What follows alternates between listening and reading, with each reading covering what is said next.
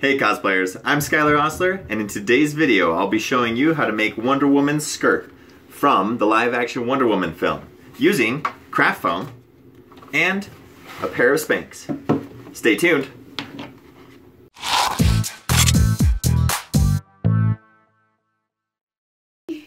Alright, before we jump into it, I've created a Wonder Woman cosplay guide for you, complete with reference images, costume components, origin, poses, everything you need to know to be able to cosplay Wonder Woman. So the best part is it's completely free.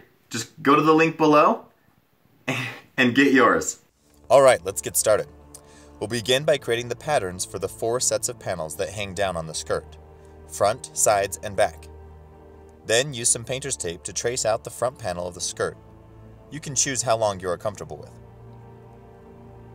Each panel will be made of two pieces, one wider piece and a skinnier piece layered on top of it, that runs along the wider bottom layer. Trace them out on the painter's tape and then cut them out. If you want to do what I did, I just used the front panel pattern to create the left and right panels, and only drew out the back panel as a separate template. But you can draw them all out separately if you'd like. After you have the four main panel patterns created, you will then want to create one for the side using the same method, Wonder Woman's skirt has these two overlapping leather pieces that run across the hip, overlapping the side panel and slightly overlapping the front and rear panels. Once you have your panel patterns created, it's time to transfer these shapes over to the craft foam. Trace your patterns onto the black 2mm craft foam. It's important to use the black craft foam as it will save you lots of time when it comes to paint. I have the craft foam I use listed in the materials kit linked in the description. Then cut out all your skirt panels out of the foam making sure to keep the front and back pieces of each panel together with their proper pairs.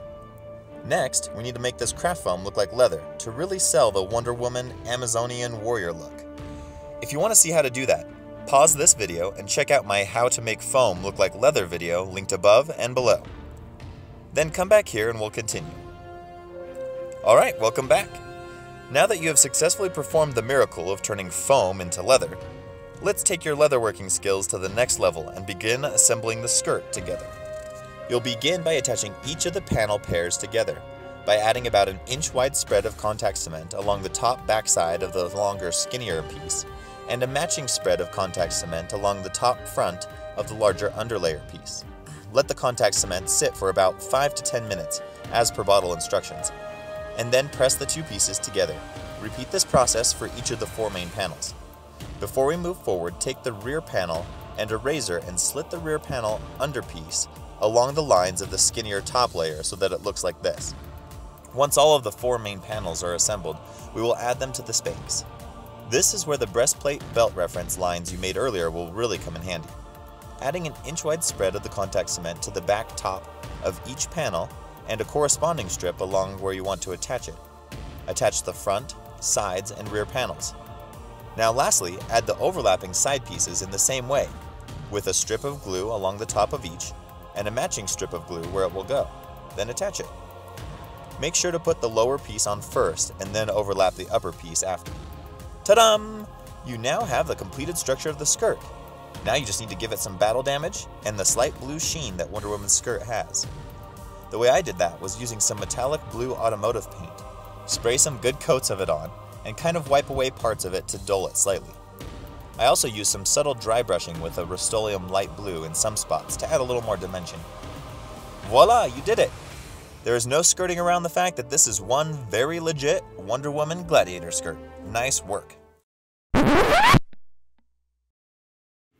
Hey guys, thank you so much for watching. Seriously, I am so grateful to all of you for your support in watching and learning with me. And uh, just thank you so much. If you like this video, give it a like, share it with your friends.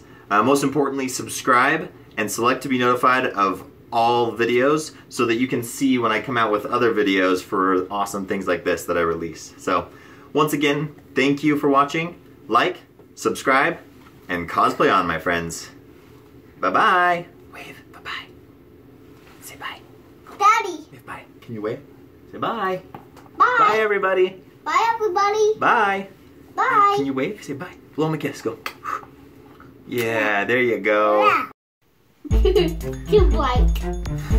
Okay, you ready? Complete with reference images. Dad, I told Uh, I took it off. Good job.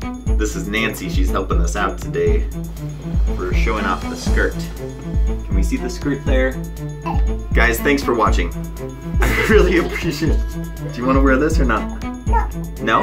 Okay.